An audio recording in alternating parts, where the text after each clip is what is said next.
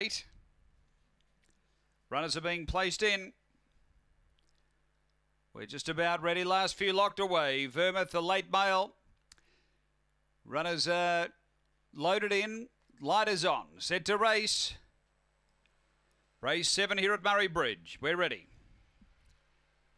On their way, uh, bombing the start totally. Grace and Mercury missed at six or seven. Uh, Silver Timothy out well. Vermouth going with it early. Out wider is Sway Bars, a line of three, and then Victor Choco just uh, railing up in behind them.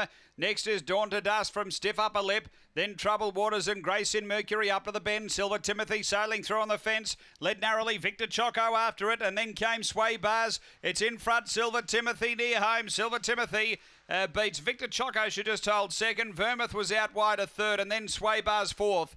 Uh, next, Grace in Mercury, Dawn to Dusk, Trouble Waters. It was back toward the end. The time here, uh, it's around the 26 second mark.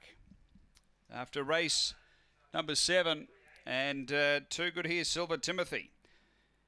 For the uh, 10 Fine Gentlemen Syndicate, managed by uh, B. Fran, uh, Tony Henderson Trains, has been too good here, Silver Timothy was in a battle for the speed early, took the front and was able to